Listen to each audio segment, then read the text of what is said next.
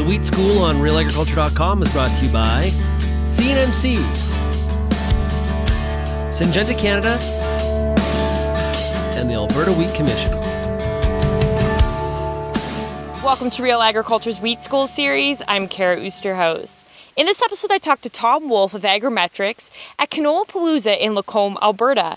Tom and I talk about some of the benefits, some of the drawbacks, and some of the concerns you may have when spraying into a wet wheat canopy. Well, we're at the booth uh, that talks about sprayer cleanout and spray drift and other spray issues uh, at Canola Palooza.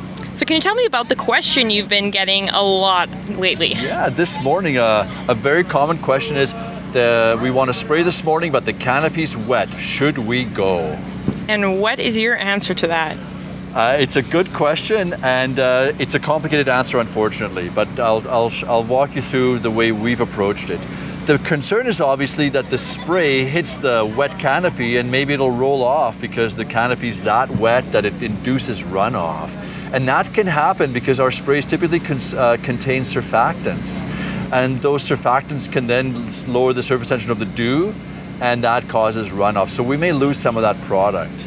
Uh, the other thing that can happen is the spray might be so coarse that the big droplets actually create some momentum and actually also create that, that runoff. So we're due to lose possibly some proportion of that spray. So we've gone to the lab and we've measured the losses.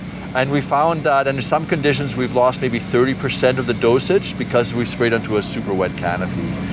But we also took it to, uh, to efficacy and found that there was no noticeable loss of efficacy. So the, the story really is that it's possible that the wetness of the canopy actually also helps uptake in some way because it hydrates the cuticle. So maybe they're counteracting effects.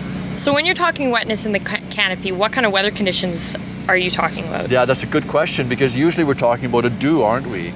And dews occur on clear nights and the coldest time of day is usually sunrise. So that's when the dew is going to be at its maximum. And uh, the, the reason I mentioned the, the clear nights is because clear nights is also when we have inversions. So it's actually a very good idea to not spray in the early morning just after sunrise for two reasons. The wetness of the canopy and the inversion. Now, waiting a couple of hours, maybe a couple of degrees temperature rise on your thermometer, will burn off the inversion, or at least begin to, and secondly, evaporate some of that excess moisture off the canopy, and then it's usually a green light.